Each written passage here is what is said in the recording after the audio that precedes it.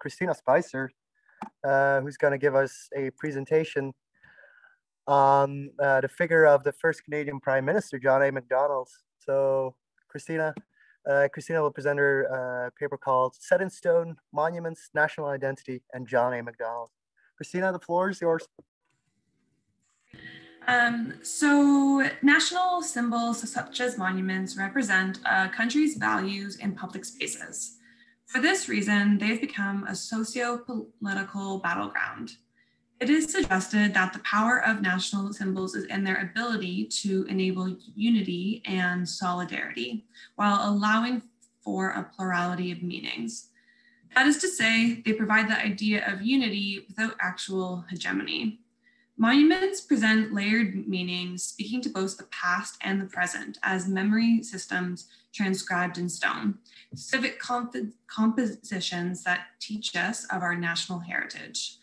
They remain, a, they remind a nation of its collective history, act as a cultural expression of identity, and can be used as a tool to legitimize a state. Renan, how has been mentioned earlier, um, argued that misrepresenting history is actually essential in creating a nation. Due to its potential to be controversial, historical accuracy becomes a necessary casualty of compromise between different perspectives in the building of national identity. So this idea is summarized well by this quote. Um, he was actually the first in the US to teach sociology in the late 1800s. Um, but looking towards Canada, monuments have become a topic of contention in discussions of history, memory, identity, and power. The rise of multiculturalism and civic nationalism challenge monuments' symbolic identity. In recent years, the symbolism of monuments has been seriously questioned as racial tensions escalate, social inequalities accumulate, and states continue to struggle to define the nation. These stone figures, which seem powerless outside of their colonial ideologies, now have the ability to mobilize the nation in protest. Um, so this story actually begins on a little island on the west coast of Canada. Um, before moving to Scotland, where I am right now, um, I spent the previous 10 years living on Vancouver Island um, in the province of British Columbia. You can see that on the bottom left there. Um, on my way to work, I would pass a relatively moderately small statue of a man and honestly never thought much of it. Um, then in August of 2018, in the province's capital city of Victoria, um, a statue of Sir John A. Macdonald, Canada's first prime minister, was temporarily removed from outside City Hall as a gesture of reconciliation between Indigenous and non-Indigenous peoples. So the Truth and Reconciliation Commission of Canada, which was active from 2008 to 2015, was established for the purpose of documenting the history and lasting impacts of the Canadian Indian residential school system on Indigenous students and their families. The re residential school network um, was a network of boarding schools for Indigenous peoples that were funded by the Canadian government.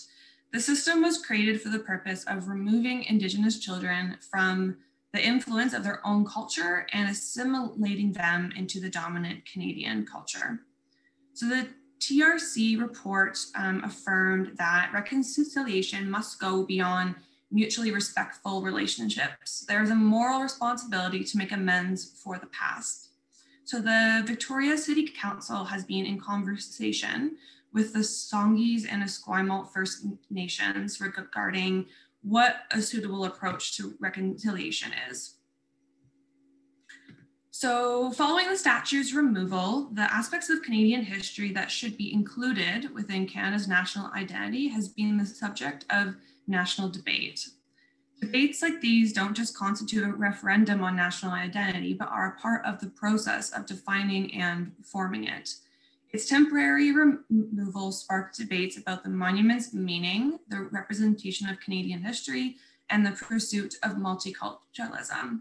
Macdonald is remembered as one of Canada's founding fathers and one of the country's greatest leaders, serving as Canada's first prime minister, and he actually served, as you can see there, twice. Um, however, he's also remembered as a colonial tyrant and the architect of the Indian residential school system. So the Macdonald statue embodies the tension between two competing perceptions of history. So the first illustrating Macdonald as a founder of the nation, and the second portraying him as a villain of the story of Indigenous assimilation.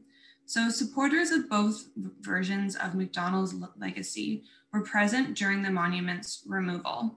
For some Indigenous people, the monument is considered a painful reminder of colonial violence, every time they enter City Hall, while others wrap themselves in provincial and Canadian flags and sang the, the national anthem during its removal um, and, and after for a, a, long time. Um, for the majority of non-Indigenous Canadians who are opposed to the monument's removal, Macdonald activates an aspect of social memory that allows individuals to see themselves as a part of Canadian history.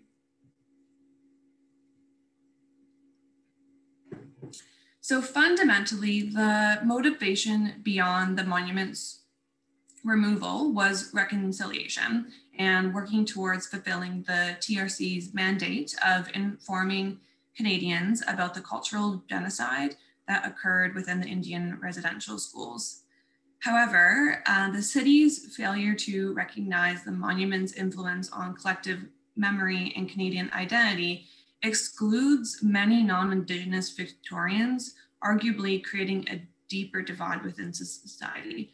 Macdonald's removal may have furthered efforts of reconciliation between Indigenous people and the city, but it neglects a spirit of reconciliation between Indigenous peoples and the broader community. So there remains a lack of consensus across Canada regarding the best approach to reconciliation.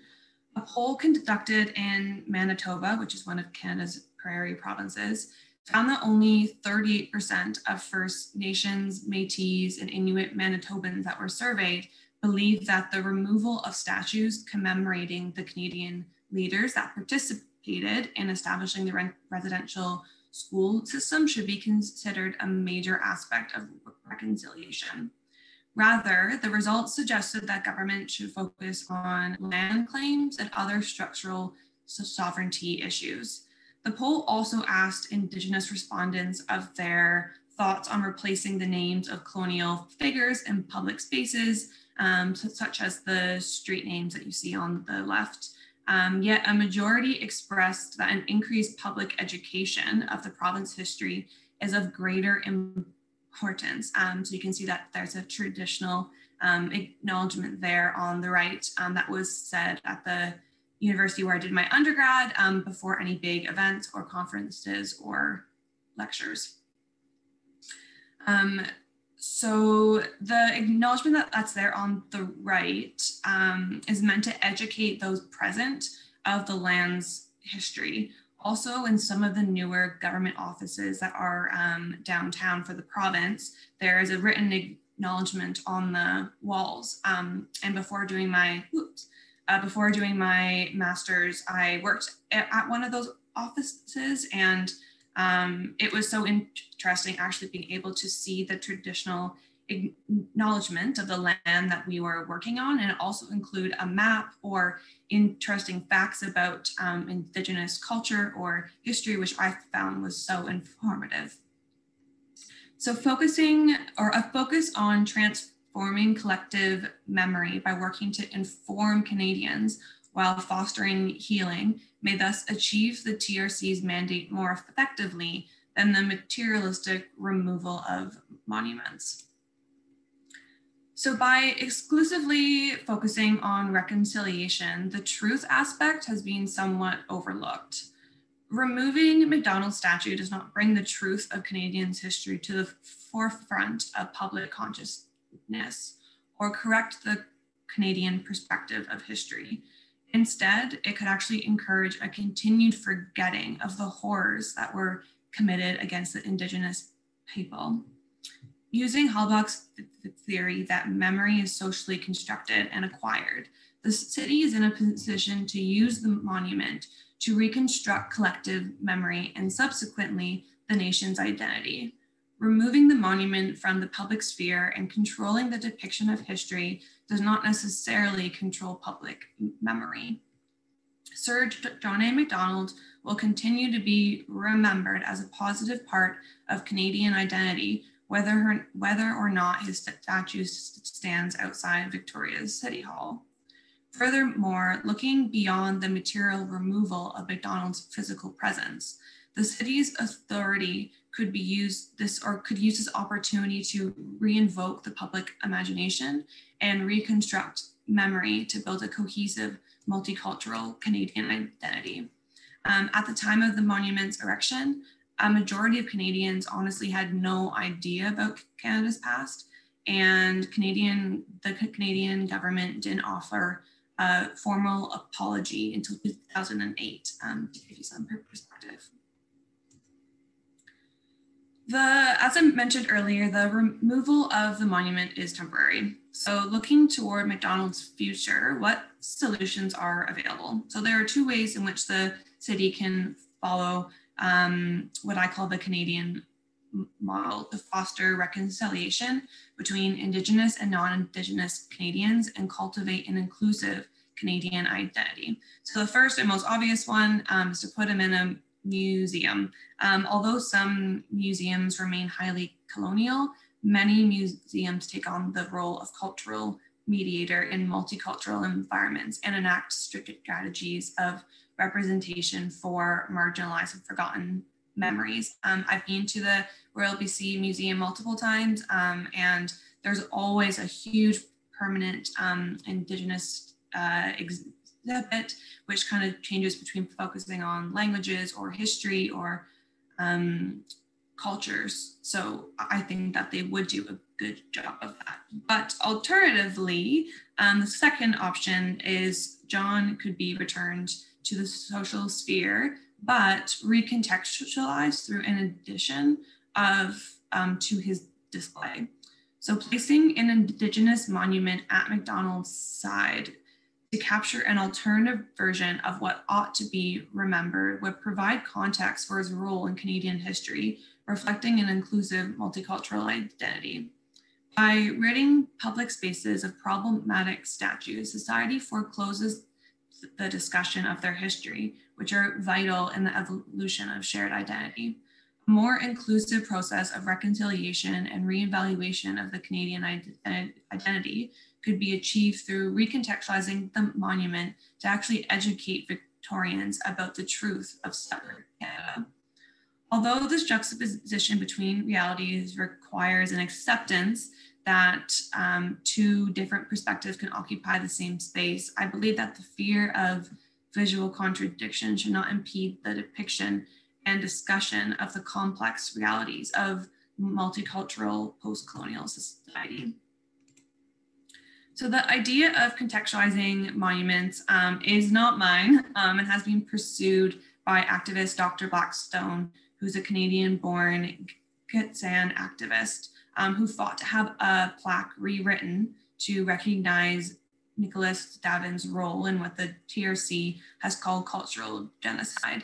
Um, Davin was responsible for writing some reports which recommended residential schools to fix the Indian problem. Um, when the new plaque was unveiled, it was actually the third time um, that she had successfully pushed for um, grave site tributes at the Beechwood Cemetery to be either changed or recreated. She said that rewriting the plaques um, was about telling the full history to recognize the achievements of the historical figures, but also their darker roles in Canadian history. Um, I mentioned earlier that she's um, from the Gitxsan, um, which is actually a nation in the West Coast in the province of British Columbia. Um, and that is a bit of a unique fact just because um, although they have Aboriginal title rights through the federal 1997 Delgamuukw decision, they're the treaty agreement between the Gitxsan and the federal government and the provincial government of British Columbia has actually not been reached. Um, and some of the work that I've done for the provincial government, I've had the opportunity to have conversations with the hereditary chiefs of the Gitxsan. Um, I think that her being from that um, nation definitely adds a, a, significant and unique um, dynamic to the, the, work that she's doing. Um, so the addition of new monuments could facilitate an understanding of the country's past by offering a process for expanding and acknowledging the different identities that have helped form history and memory. Although the Macdonald Monument no longer represents a singular version of the past, it remains a necessary point of communication and negotiation for groups within different um, groups with different memories of the same events the bittersweet reality within post-colonial cultural multicultural societies that there will always be varied perspectives of history and memory competing for the re representation in the social sphere. So to conclude, um, removing the Sir John A. Macdonald monument has enraged the Canadian right wing, it's galvanized nationalist, and has failed to contribute to reconciliation within the broader society in Victoria despite its intended purpose. Um, the people in Victoria, along with the rest of Canada, as argued by Charles Taylor, must work with each other to preserve these historical identities with their differences intact. The state will always maintain dedicated places of memory as a part of nation building. The city of Victoria should not subdue the complex realities by removing monuments, but rather highlight Canada's contentious past to build an effective multicultural society. Thanks. There we go. Thank you for that, Christina.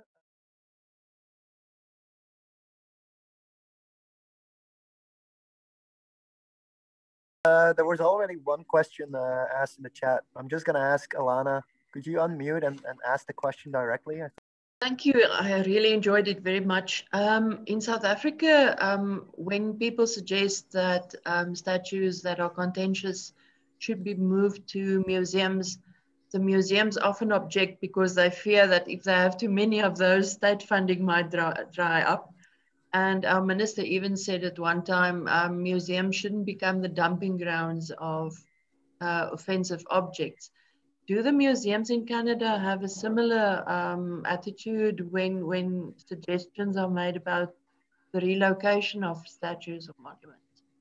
Yeah, so I guess I would say that um, the I don't think that the first thing that they like to do is to put them in a museum. Um, I think generally when the monument or the statue or the person who that monument is, is of um, is of some type of importance, um, the Canadian government feels like they just can't get rid of it. So they just really don't know where to put it. Um, I would say there are museums, though, especially in, in Ontario, that um, I think build certain displays around monuments. So it's not like a dumping ground. They'll actually um, they'll find indigenous art or artifacts, and then they might take a, a painting um, of a like a white colonial and actually build a whole exhibit um, around both of those things and, and actually tell the full story. Um, so I think, in my opinion, um, when it is done, it, it isn't just we don't know where to put this, so let's just dump it in here and put a small sign and, and, and be, be done with it. Um, it's generally a very deliberate and long process of making sure that um, whatever uh, is being dumped in a museum is actually being thought about and, and contextualized. Um, but again, I think one of the big differences, if it's um, in, in the example of, of, of good old John, um, I feel like the amount of people that would see that wonderful exhibit might be quite limited um, compared to if that's if a similar contextualized exhibit was in the spot that he was begin with. Um, so thank you. Uh, there's another question, uh, Fabiola, if you want to uh, get the floor, it's all yours. Hello. Thank you for your presentation. I actually posted my question already. The concept of reconciliation in South America and, well, in Latin America is quite questioned actually and controversial. And I was wondering how, how does it work in the north of the continent and who is driving these discourses and who wants to reconcile with whom? Um, just curious. Thank you. Yeah. Um, so I would say reconciliation is in the forefront of a lot of things that is is done. Um, if it's done well or not, I think definitely varies um, quite a lot. Uh, not not to point fingers or name names, but um, the Ontario government offered to buy the Sir John A. Macdonald off of the British Columbia government to put it up um, in, in their province. Um, so definitely it differs, but I would say the federal government and all provincial governments um, work hard to make sure that the recommendations that come out of the TRC are actually implemented. And then I think that does filter down. So I actually attended um, a session hosted by the city that was over multiple days, but one of those was actually dedicated to what to do with the statue. Um, so it, I, I, think that it kind of works on all levels and it kind of does have to uh, filter down to cities and actual spots because the federal government just saying reconcile um, isn't going to really do much. Um, but I think that there has been quite a big focus on you, you kind of asked who's who's reconciling with with, with who. Um, I, I would say because it's being pushed by government, it ends up being government and the indigenous population. And I think that what I try to kind of point to is um, the actual people, um, the who are not indigenous, also have to be a part of that as well. Um, so I think that's there could be ways to kind of bring in non-indigenous into that conversation. Um, taking down a statue looks great on the city, but uh, the people that were there that were non-indigenous had no idea why it was being taken down they said he's he's the guy who founded Canada, and they were freaking out. And fair enough, because they they didn't understand what was happening. Um, so I think that that that conversation needs to be between everyone, um, not just government and them. Um, and again, just to kind of jump in on one one last thing, we always talk about reconciliation, but we never really speak about the truth aspect. Um, we that I think that it's such a big buzz word and um, being in government back in Canada is such a big thing. And we have a different um, government areas that focus on that, but we can't really reconcile the truth aspect that doesn't come first.